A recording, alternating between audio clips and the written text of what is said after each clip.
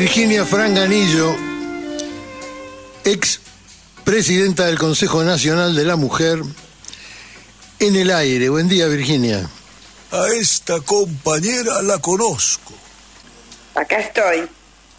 Qué linda voz. muchas gracias. Esa voz inconfundible. Es casi una tradición que me honres con que en este programa de radio tan compañera, este pueda yo estar no recuperando la, a esa vida tan potente, tan productiva, este que todos los días nos interpela, como ha interpelado a todas las generaciones, ¿no?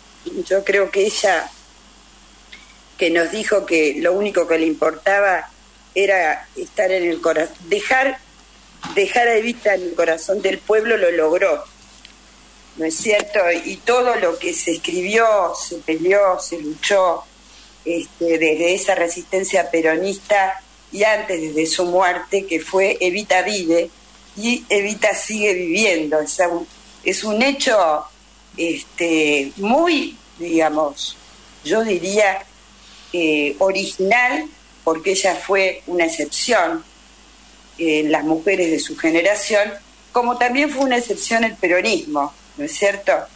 Este, estuvimos juntos en la reunión maravillosa este, que trataba eh, eh, con el compilado de un libro donde 100 eh, compañeros, compañeras de distinta extracción hablaban sobre la constitución del 49. Entonces, esa originalidad del peronismo este, no se la reconoce. Pero sin embargo, ella, ¿no? Este, por razones que son. Se ha escrito mucho, digamos, ¿no es cierto? Este, ese mito, este, que estamos todo el tiempo también removiéndolo, recuperando, como yo siempre digo, la evita política, ¿no es cierto? Pero que trascendió a eso, pero tenemos que hacer todo el tiempo el ejercicio de esa recuperación política porque efectivamente lo que ella logra es para las mujeres y como mujer política ser una excepción.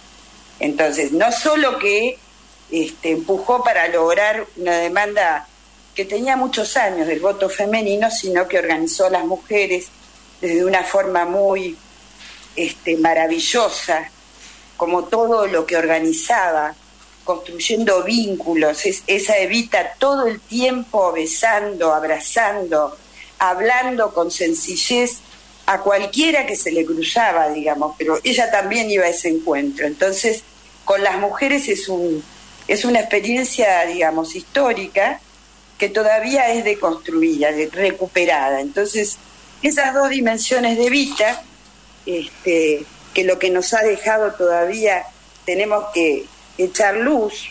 Hace poco este, leía una investigación sobre las mujeres en la resistencia peronista. Tenés que llevarla a Martina, la investigadora platense, porque es muy interesante sobre esa etapa. Este, faltaba y falta recuperar el papel de las mujeres. Se recuperó este, en parte la memoria de las mujeres de mi generación, de los 70. Se está recuperando este, la de mi generación más como una, digamos, como una compañera con capacidad de dirigir, que fue la experiencia de los 80 y de los 90, y hoy es un emblema ella de las luchas feministas, ¿no es cierto? Y por la diversidad. Este, yo, eh, como digo siempre, recuperando a esa mujer política eh, que no solamente organizó a las mujeres y, y fue un hito, fue un antes y un después para las mujeres argentinas, aunque sean las que estaban, las que eran gorilas, digamos, este, rompe, digamos, lo que era el papel tradicional de las mujeres. Virginia, Eso somos mujeres. Virginia, ¿se puede decir que lo- mm, la calidad de su, de- si se puede decir calidad, la calidad de la vida de Evita es proporcional al odio que despertó, al ensañamiento, incluso después de su muerte, que despertó en los gorilas, ¿no? Eso es una cosa impresionante, como decís vos, robar el cadáver, no se puede creer, uno se lo cuenta a compañeras y compañeros del mundo, fuera de la Argentina, y, y- y es el día de hoy que uno no puede explicarse ese horror. o sea, decime más horror, ¿viste? Buscar algún hecho, alguna, algún líder en el mundo, pero se hacía en épocas de, de canibalismo, no desde las democracias, no en las democracias modernas, ¿no es cierto? Entonces, aún así, ella vive, ¿no? Y este, y es bandera y, y nos, nos interpela todos los días, pero yo quiero hablar centralmente del hoy y hablar desde la responsabilidad de, una, de, la, de la militancia social y política, digamos, del campo nacional y popular. Y, este, y es su legado, es su legado, digamos, ¿no? Frente a un país que cuando salimos a la calle, yo vivo en un barrio acomodado en la ciudad de Buenos Aires, está tomado por mujeres, niños, eh, adultos, varones, ¿no es cierto?, que nos llena de dolor, de vergüenza, este, se da en sociedades donde está naturalizado, es como un, una parte del paisaje urbano. Entonces yo creo que el gran legado de ella, que es una responsabilidad y obligación nuestra, digamos, es que no se naturalice esa situación. Estamos hablando de una Argentina, ¿no? donde el 63% de las criaturas que nacen nacen pobres. Y hay cuatro generaciones detrás en esas familias, como los estudios muestran, ¿no? de familias que han perdido el trabajo.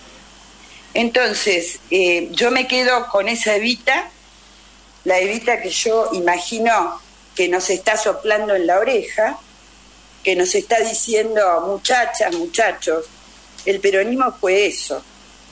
Entonces, ¿cómo Sí. hacer... este, eh, ¿Será revolucionario o no será? ¿no?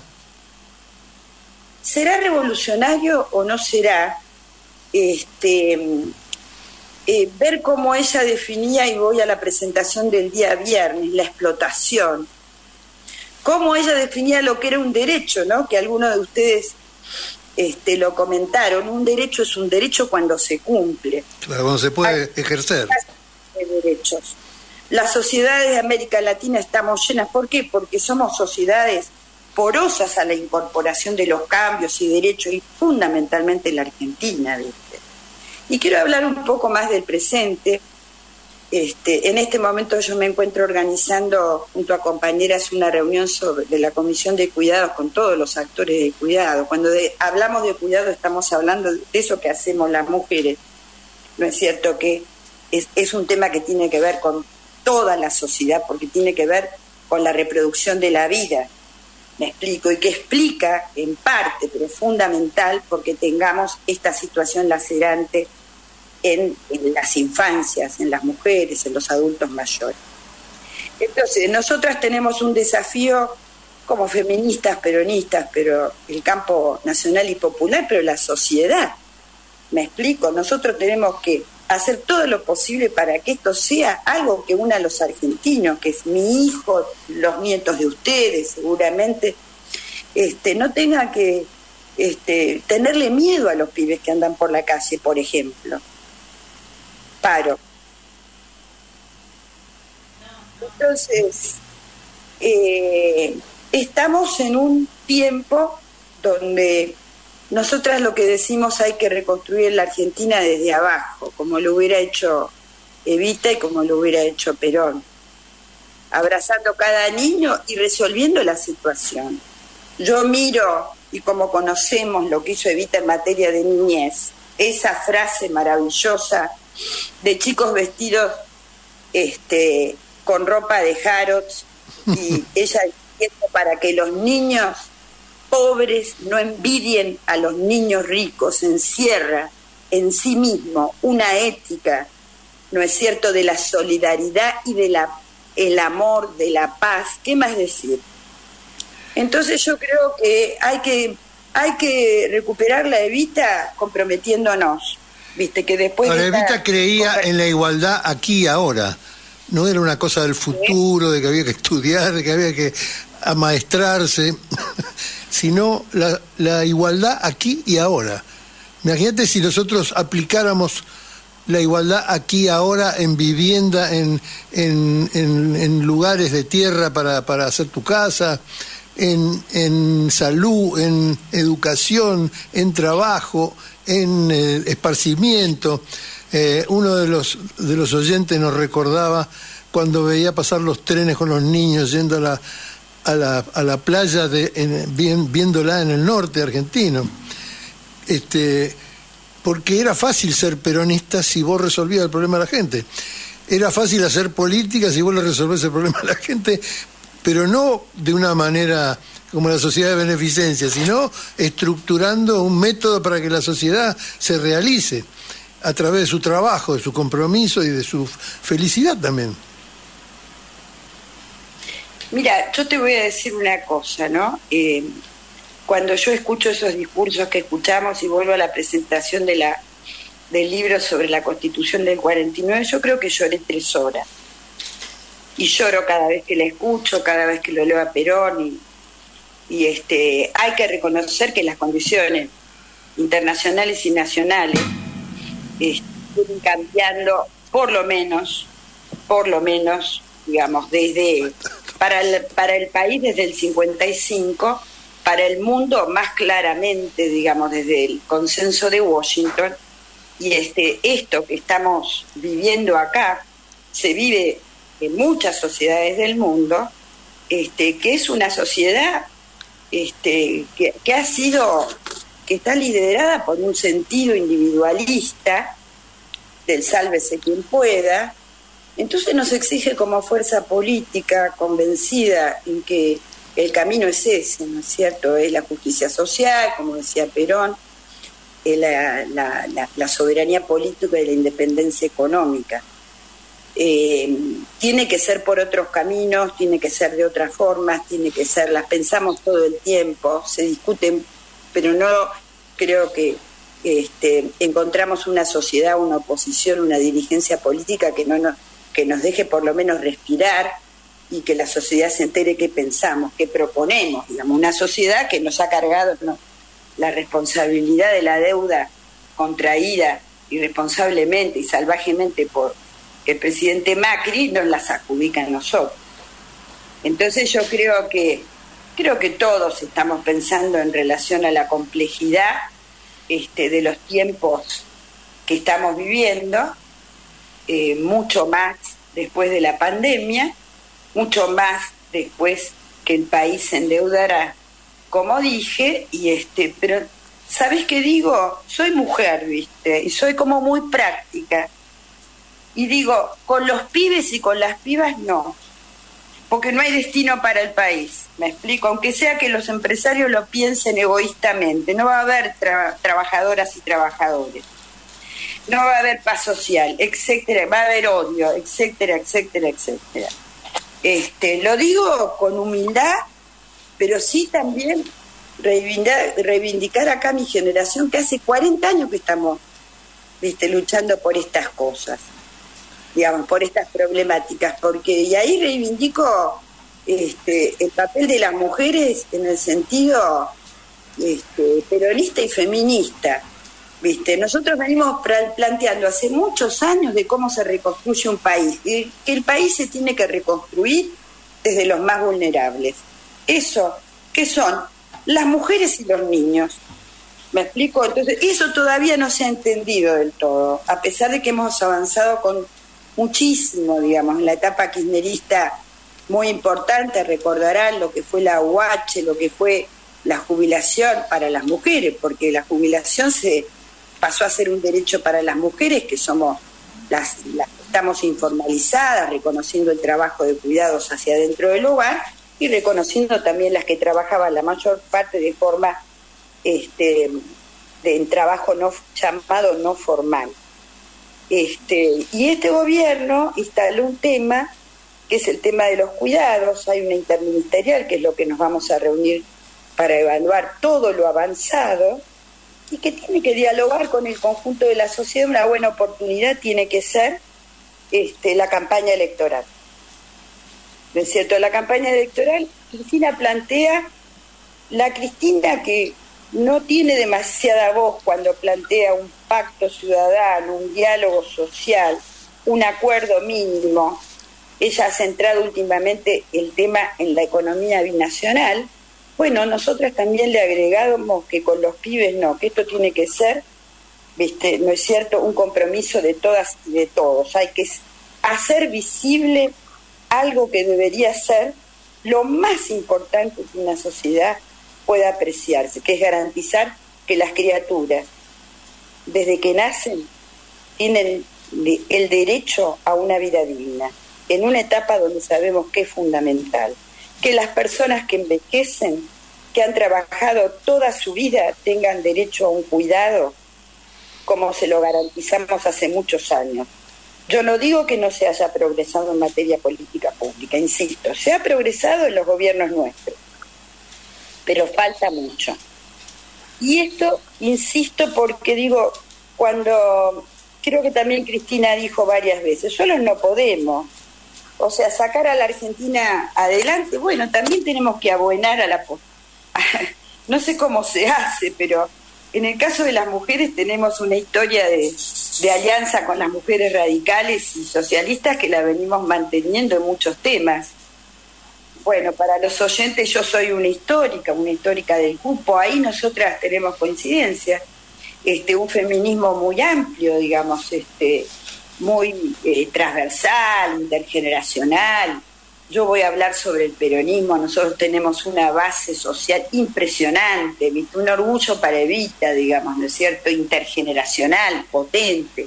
Hay que caminar los barrios del conurbano, del interior del país, algo impresionante, digamos. Pero tenemos que seguir denunciando que hay 20 millones de, de, este, de criaturas que comen porque hay compañeras que bancan sin salario, porque es sin salario los comedores eh, Virginia. Nosotros tenemos deudas impresionantes.